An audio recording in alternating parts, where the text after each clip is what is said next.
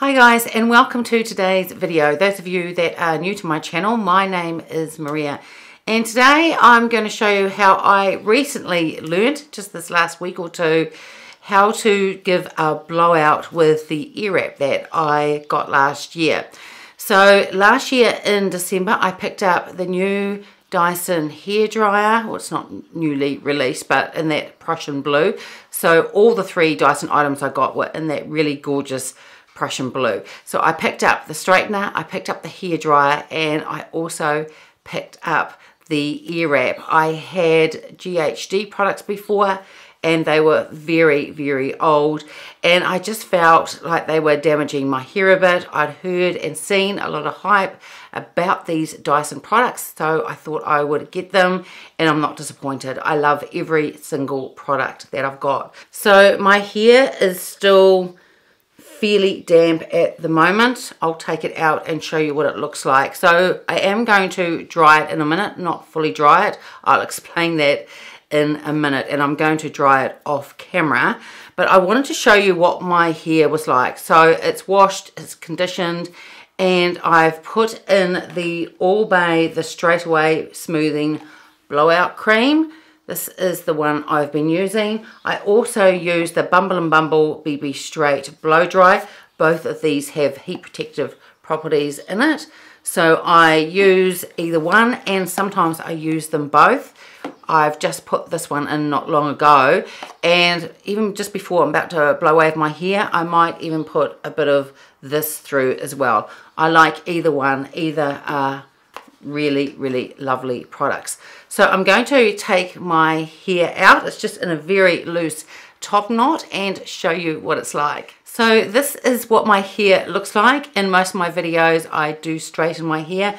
I have done a couple of videos when I've dried my hair with their natural curls and that is a video all on its own how to get your natural curls to look really lovely and to dry them so that they don't go all frizzy. So this is what she looks like. It is very curly here. It's not tightly coiled, but it is a bit of a mission in itself. I love straightening it because I love the feel of straight hair. My hair isn't dyed. I haven't dyed it for well over six years now, but I'm probably going to have to start doing that again soon because I'm starting to get a few grey hairs in, which is completely normal. I'm 52 and I'm going to be 53 this year. So even though I have lots of hair, it is actually very fine. So it tangles quite easily and having curly hair and then fine hair on top of that, that's a whole other issue to deal with because you get the frizzies anyway when you have curly hair and then you add fine hair on top of that and the frizziness becomes amplified even more.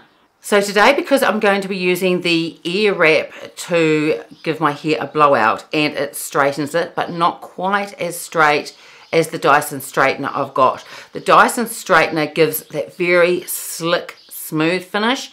This does straighten it, but it looks sort of more like a blowout.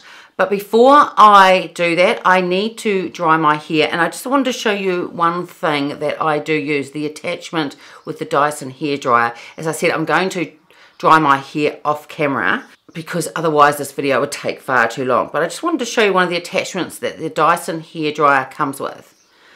So this is one of the attachments. It's a very wide tooth. It's a very firm comb and it just has a magnetic clip into the dryer and just clips in it's very easy but what I like about this if I'm going to either straighten my hair with a straightener or do a blowout like I'm going to do today with the Airwrap this is the attachment I use when you dry your hair using this comb it doesn't straighten your hair, but it stretches the curl. So you've already started that straightening process. And I just find this really, really good. It was one of the first attachments I used when I got the dryer and I use it nearly every single time that I dry my hair unless I'm going to have my natural curls and then I'll use the diffuser. Another thing that if your hair is like mine, what you can do is wash and condition your hair in the evening and sort of 80% dry it using this attachment. And if you then put it up in a really loose top knot like I had just before, then when you wake up in the morning, you do end up with real, the curls aren't like this. They end up being really big and quite voluminous and just really beautiful curls. So if you wanted to do an easy way of getting a different type of curl, just dry your hair with this, put it up in a loose top knot overnight, and in the morning when you take it out, you'll have really beautiful, soft, big curls. So now off camera, I am going to dry my hair. Now I'm going to dry my hair not much more than it is now. I'm going to dry it to about, it's hard with percentages, but I would say I'll dry it so it's about 60, 70% dry. When I use the straightener, I dry it down so it's nearly fully dry, probably about 90% because otherwise, as you know, with a straightener, you'll get that sizzle and when you're straightening and that's no good because that'll damage your hair. But it's completely different with using the Airwrap. So now off camera, I am going to do that and then I'll be back. So I've now dried my hair off a bit more using that attachment. And as you can see, what I was explaining, how it stretches out the curl. So I would say my hair's about 70 to 80% dry and that's really just perfect for using the Airwrap. But if I wanted to have my natural curl, then there's no way that I would do this. This is something like out of the 70s. It's it looks very frizzy and very crazy. So now I'm just going to quickly put my hair up just while I go over the Airwrap with you. So that's a bit better. My crazy hair is out of the way in the meantime. So here is the Airwrap. I'm going to take off the attachment first. So this is what she looks like. Now this is that gorgeous Prussian blue and the bronze colour and that's why I decided as well to get all the Dyson products at once. I missed out, they came out with uh, bronze colour all over I think the year before and I ummed and ahed about it and by the time I decided it was sold out. But when I saw they were coming out with this really gorgeous beautiful blue I knew I was going to pick them up. So I bought these directly from Dyson New Zealand although Sephora did bring them out a little bit later.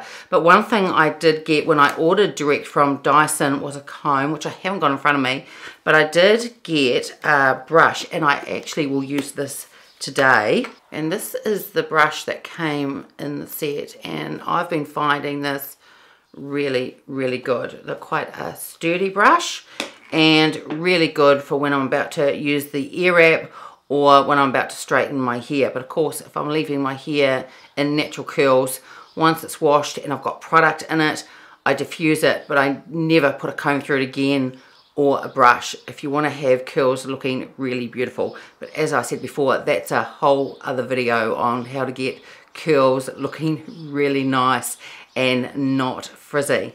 I have a PowerPoint in the corner over there in my room and I've still got plenty of cord left over. Has the lock button on the back to put the different attachments on You've also got here is the setting, how powerful you want it. I have it on the highest and you've got the temperature settings. You've got the cold, medium and then high. And when I use it for doing this and when I use the barrels as well, I have it on the higher setting. And here is when you turn it on.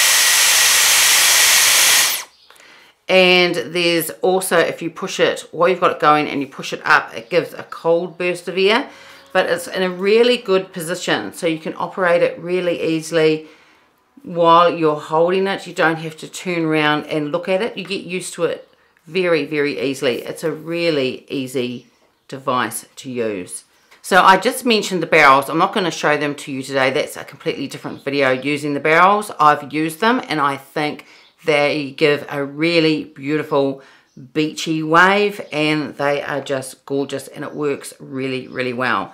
So these are the brush attachments that come with the Airwrap. I've tried both. I tried this one and I've tried this one for my hair, I think it's because I have fine hair, but then I have lots of it. I just find that this attachment just grips my hair just that little bit better. It also comes with this round brush as well, and I actually haven't used this yet. And I might give it a go today at the very end. I'd imagine that this brush, if I used it, would probably give even more volume if that's what you wanted. So since this is the brush I'm going to be using today, it just clicks on and then when you want to remove it, you pull the lever, I'm just looking at the back, you pull the lever down and that unlocks it and you can just replace and put on other attachments. It's really user friendly to use. I was quite surprised. No wonder that this is just such a popular device. And the other thing I wanted to mention before I get started is that I have no hairdresser training in my background whatsoever. About six years ago when I did used to go to the hairdressers and get my hair coloured all the time, I always used to ask them at the end of it to straighten or blow out my hair just so I could have it straight for a few days. And because I loved it so much, I thought there must be a way that I can straighten my hair myself. And I did figure out a way because there was no way I can do things at the back of my head. I knew I'd never be able to do that. But I watched quite, and this was about, like I said, six years ago, and I watched quite a few different YouTube videos, and I can't remember which one it was. This is quite a long time ago now. And the one that I watched, you didn't have to have your hand at the back of your head. So this is the method that I use when I straighten my hair. There probably may be other methods, but this is the one that I use and that I've found the easiest. And honestly, if I can do this, anyone can do this because I'm not that great when it comes to hairstyling. I am very much an amateur. So I've now let my hair out. I always think it just looks crazy like this.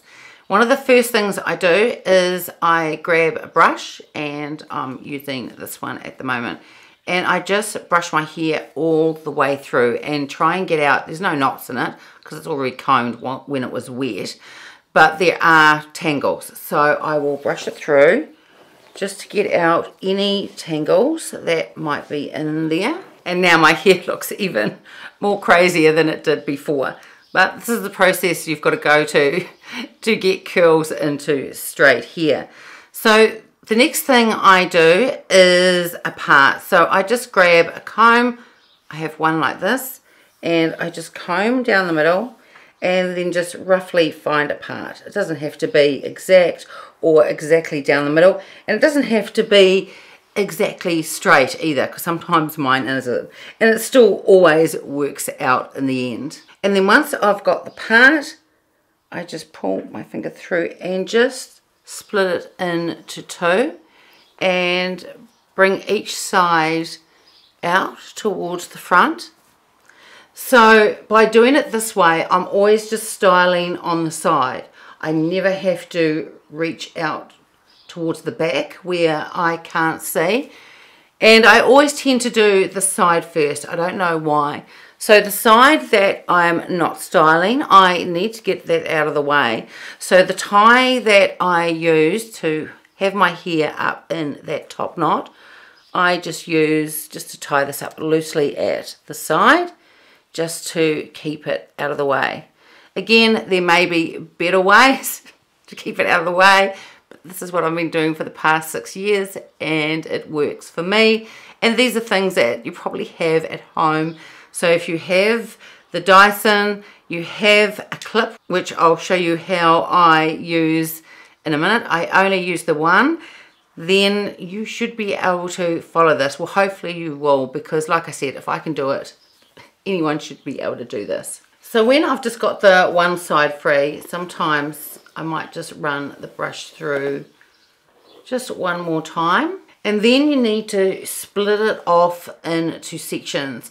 Now what I've found by using the Air Wrap is I don't have to split it off into as many sections as when I use the straightener. With the straightener you can only put really quite a small amount of hair through it at the time. It's a little bit different when using the Air Wrap. So as a rough guide I usually do one, two, about three or four sections, maybe only three sections. So the first one, I just use my thumb and it's just above my ear. And again, nothing, nothing exact.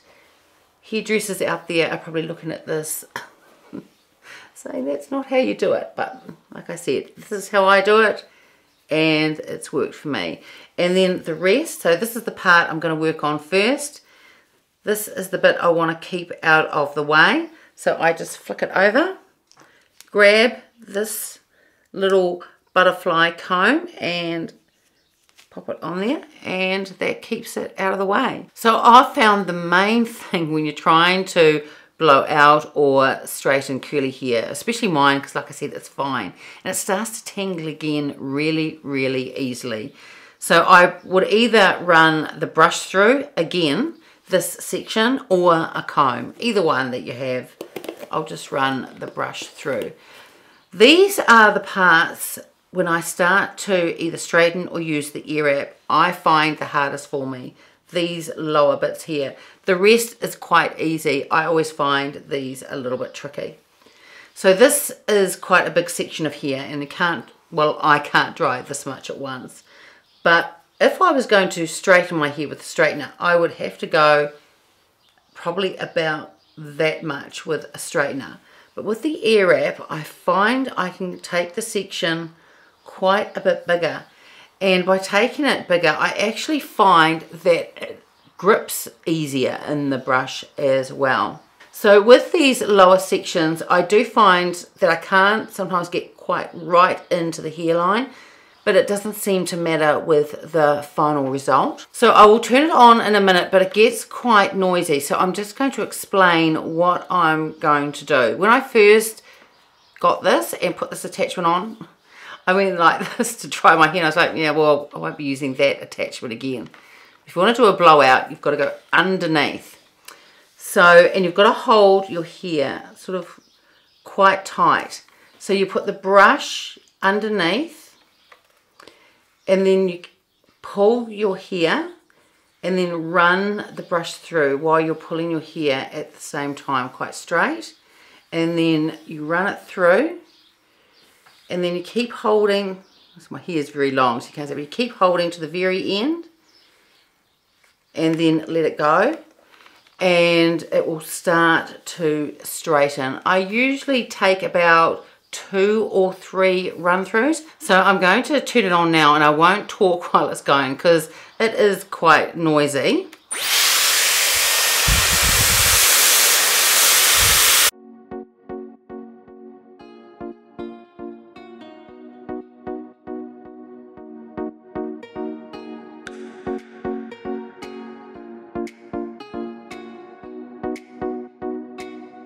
So you can see with that part that I ran that through about three times, I think it was, how much smoother it is.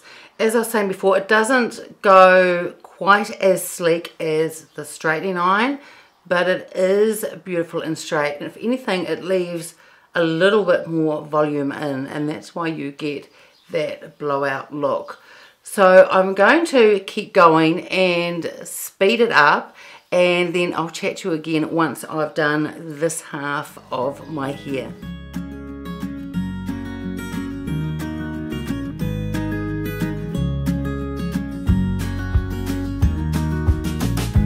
We got a brand new day Good love is on the way And if you take my hand I'll walk with you to Georgia Have you ever been in love? In from high above, and if the answer's no, well then I'd like to get to know you. And though I know these lights are blinding, I will guide us home. Cause I don't know what I've been told. The weather outside is not that cold, and if you take my hand, I'll walk with you to Georgia. men see, but I see you right next to me. And if you take my hand, I'll walk with you to Georgia.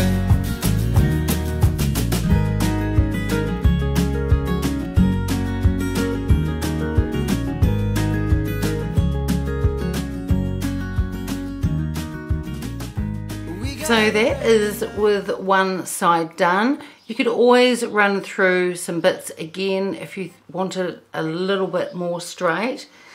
But as I was saying, it doesn't go as sleek as when you use the straightener. But it straightens it out and I think it gives a really nice sort of blowout type of look. A little bit more volume than you would get just using the straightener. So now I'm just going to do exactly the same thing on the other side. We got a brand new night and good love will soon arrive. And when it does then come a little closer. Have you ever seen the stars burn out into the dark? And as they go say it was nice to know you